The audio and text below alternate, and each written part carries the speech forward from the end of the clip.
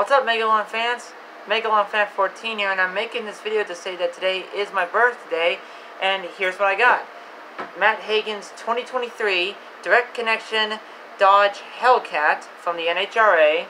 It's a Nitro Funny car. Leah Pruett's Sparkling Ice uh, 2022 Sparkling Ice Caffeine I think it's believe I think it's called. Uh, top Fuel Dragster car and it actually came in a box that she, that she actually signed right here.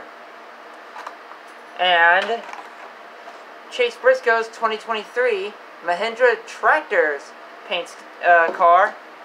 I also got a, hang on, Let's see if I can get this off without ripping it. Uh, I'm a little nervous. Uh, I can't do that. I'll just try to see if I can try to show you. An official Tony Stewart store.com sticker. That's on a mini fridge. And last but not least, see if you guys can see this. Back up, back up. A Tony Stewart Racing Nitro Drag Racing floor mat.